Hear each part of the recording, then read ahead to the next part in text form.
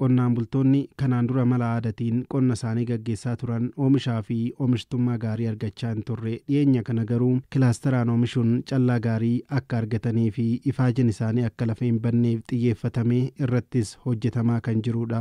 Qonnaan bultoonni godina shawaa kaabaa aanaa giraar jaarsos oomisha xaafii kilaasteraan oomishuutiin fayyadamoo ta'uu himuun. Barana baay'ee fooyyedha innis mootummaanis kana qajeelcha baasee uummatatti kana diriirsuun isaa waan gaariidha. Fooyyedha jenneeti fudhannee. Qoricha nuu kennanii qoricha san haala gaariidhaan itti goone daganaa immoo qoricha san irraa hafe aramaa irra deddeebineetu aramne jechaadha. Haala mootummaan duubaan gargaarsa nuu kenneen haala saniin hojjechaa turre jechaadha. Callaa gaarii sirriitti arganneetu yaada karoora baay'ee qabna jechaadha. Sanyiin gosa tokko akka gabaa gaarii irraa argannu akka oomisha gaarii irraa argannu baay'ee baay'ee bu'aa qaba jennee ilaalla.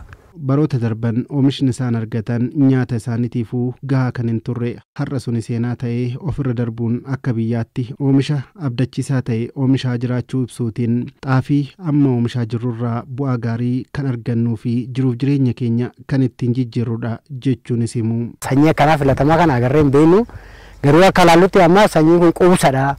Inni tokkoffaan nyaataaf oola. Inni irraaf immoo gabaatti gurgurannee waan adda addaa waan tokko tokko amma dhabillee manaan qotiyyoo dhabillee qotiyyoo ittiin bitachuudhaaf karoora akkasii qabaa jechuudha.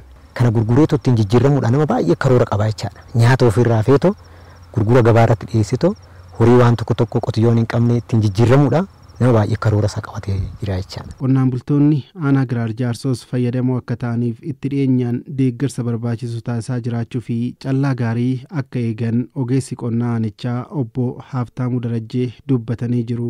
Qonnaan bulaa kana yeroo yeroo itti deddeebinee galgala ganama dadhabne dhoowwanne odoo hin jedhin isaa wajjin taanee sadarkaa kanarra geeraa jechuudha. Naannoo hektaara dhibba tokkoo fi saddeettamaa jechuudha. Kilaastara kun kan faca'e hektaara irraa naannoo kumtaala digdami saddeetii hanga soddomii sadii hektaara kanarraa hin arganne jennee yaadne. Galtee qonnaa dhiyeessuu fi qonna gama ammayyaatiin akka gaggeeffamu gochuu keessatti gahee yuuneenotaa olaanaadha.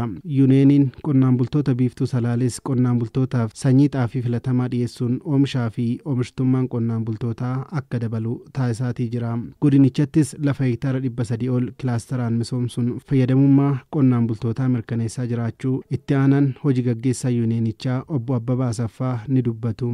Qonnaan bulaa kanaaf haala wal fakkaataa ta'een deeggarsa godhuudhaan oomisha kana sirriitti akka oomishu taasisaa jirra. Sanyiin daagim jedhu kun tokko bu'aa gaarii qaba.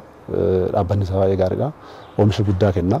Oomisha gaarii irraa argata. Oomisha gaarii gaafa argatu immoo gabaa isaatiif hin rakkatu. Fuuldurattis oomisha gaarii irraa argamee gara kaanittis bal'ata jennee tabdan. Gara fuula duraattis lafa qonnaa godinicha keessa jiru irratti kilaasteraan akka hojjetamu himuutiin bara kana callaa gaarii akka eegan itti aanaa itti gaafatamaa waajjira qonnaa godina shawaa kaabaa obbo Hirphaa Addunyaa ni himu. Xaafii karaa bareeda ta'een inni sadarkaa gaarii irra jira. Isarratti xiyyeeffannee hojjechaa jirra. Oomisha keenya naannoo miliyoona kudha shanii tuqaa torbaati argachuuf karoorfannee kan hojjechaa jirru.